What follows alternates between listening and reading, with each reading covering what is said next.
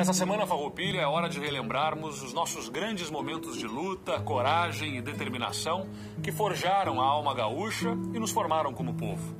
Por isso, o 20 de setembro é também um bom momento para nós falarmos de algo que tem tudo a ver com a nossa história e com a tradição: a cultura.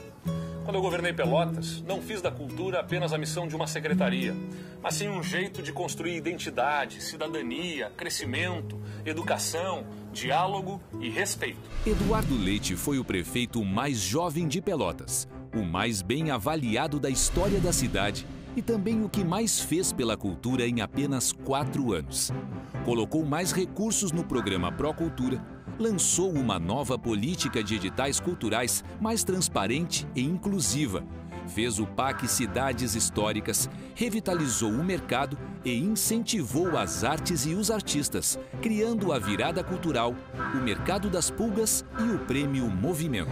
Cultura e educação são pilares para a construção da dignidade e da cidadania, para o crescimento das pessoas, para a transformação do futuro e até mesmo para a construção de um mundo melhor. Por isso, elas terão atenção especial no meu governo.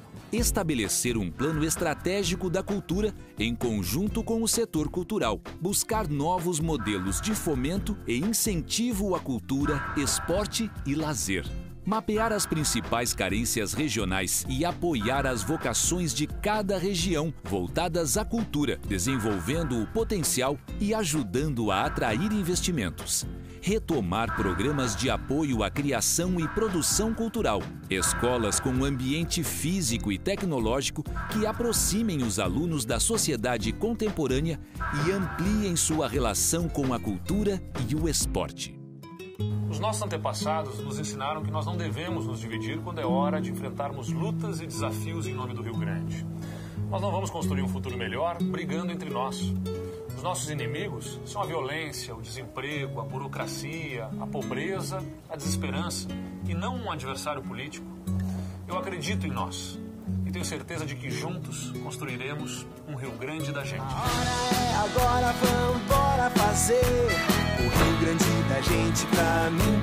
você. Levanta tua voz, vem mostrar teu valor.